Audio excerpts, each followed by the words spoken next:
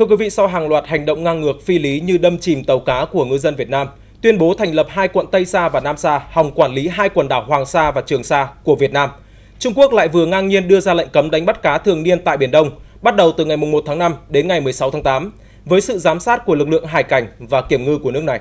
Phạm vi cấm đánh bắt trải dài từ vùng biển phía Bắc Biển Đông đến 12 độ Vĩ Bắc, bao gồm cả một phần vịnh Bắc Bộ và quần đảo Hoàng Sa thuộc chủ quyền Việt Nam. Đây không phải là lần đầu tiên Trung Quốc đưa ra cái gọi là lệnh cấm đánh bắt cá phi lý này.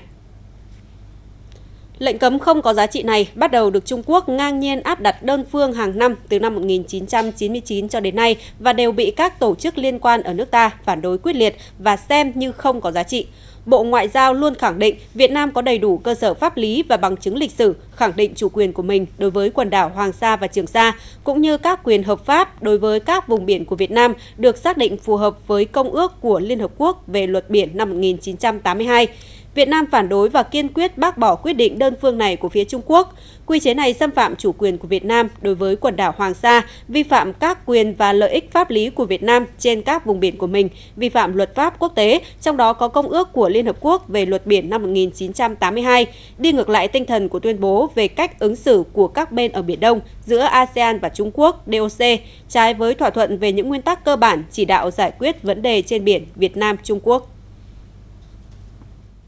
Thưa quý vị, Trung ương Hội Nghề cá Việt Nam cũng nhiều lần có văn bản phản đối Trung Quốc đơn phương ban hành quy chế cấm đánh bắt cá trên Biển Đông.